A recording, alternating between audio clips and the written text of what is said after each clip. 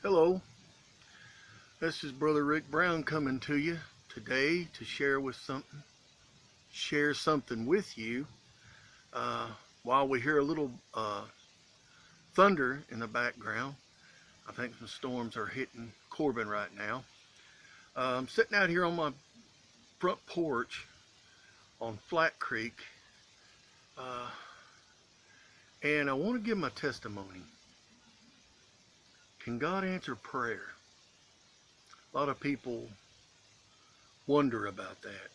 A lot of people pray for God to answer uh, so many prayers, so many things they ask for.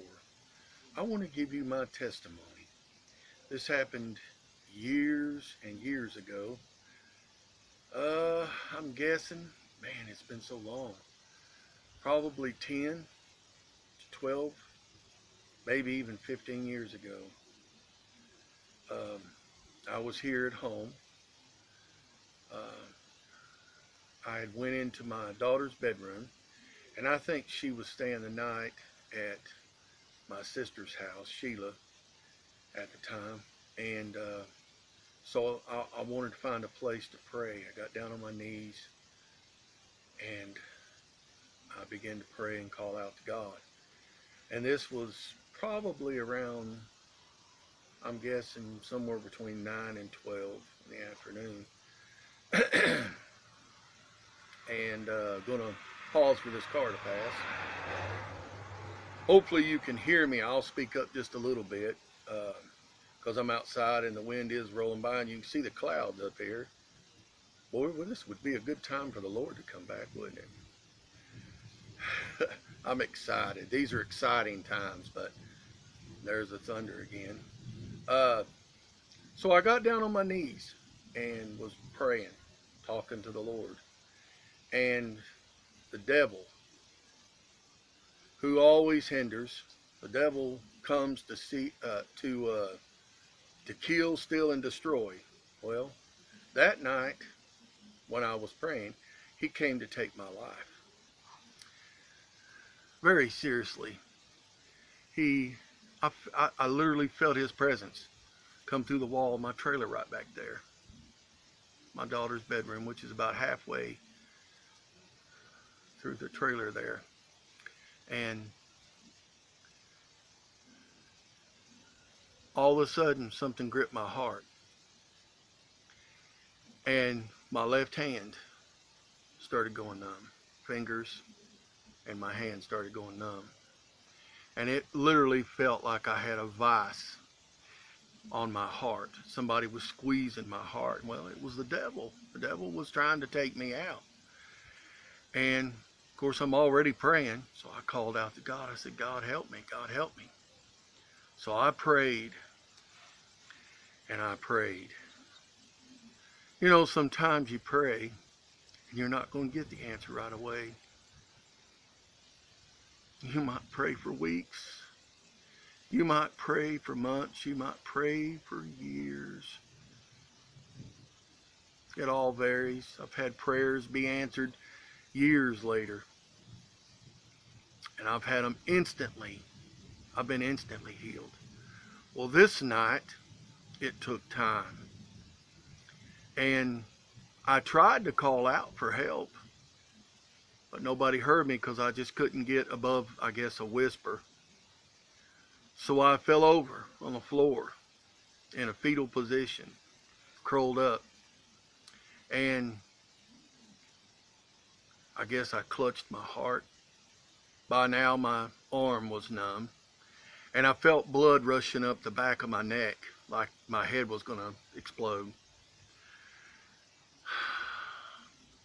And I said, God, help me. And I still remember he he spoke to my spirit. Now he didn't come through the walls screaming to do something. No, he spoke into my mind and calmed me and said, Rick, I want you to sing Peace in the Valley.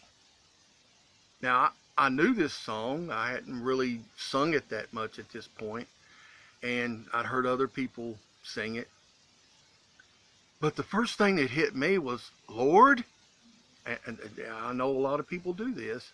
I said, Lord, you want me to sing? I'm dying. You want me to sing? And he spoke again to me.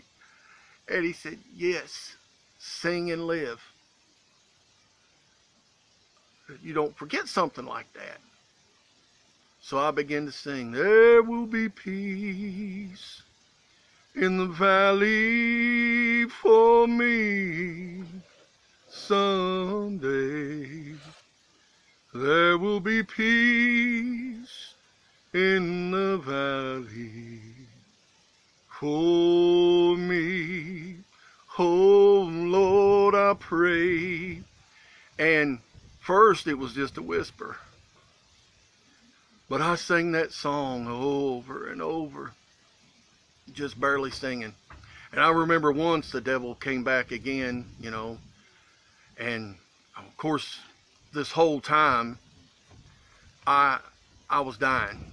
I was dying. If God didn't move on me, I was I was gone. That was my last day of life. And I I had used the bathroom on myself. And I thought about my children. I thought about my wife.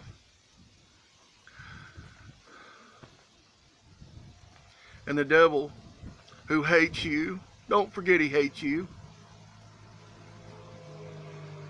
he spoke to me too.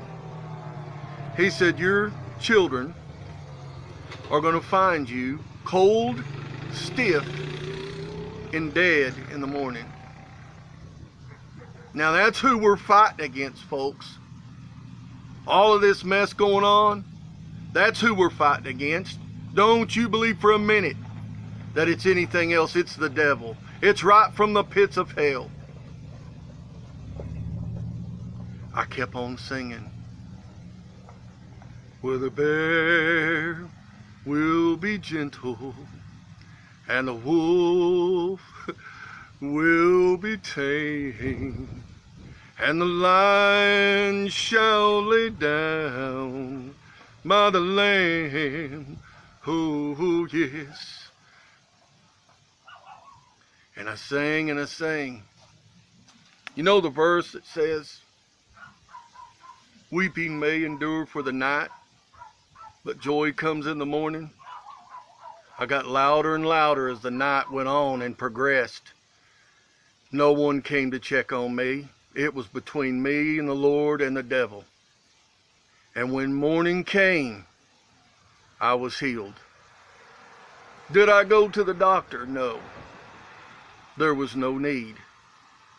I had my victory. There's victory in Jesus, my Savior forever.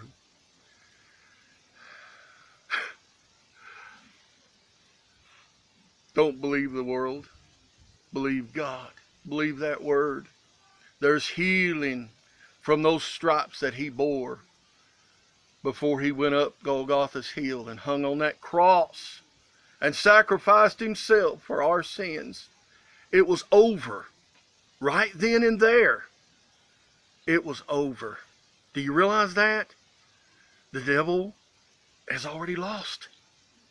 Victory's yours. I was healed. I've never been to the doctor for my heart. There's no need. God healed me. I kept on praying despite what the devil said. And I kept on praying. And I kept on singing. there will be peace in the valley. I love to sing that song now. There will be peace in the valley for me someday. There will be peace in the valley for me Oh Lord, I pray there'll be no more sadness, no more sorrow. Oh, there'll be no more troubles. I'll see, for there will be peace, peace in the valley for me. I was healed, and you can be healed. Praise God.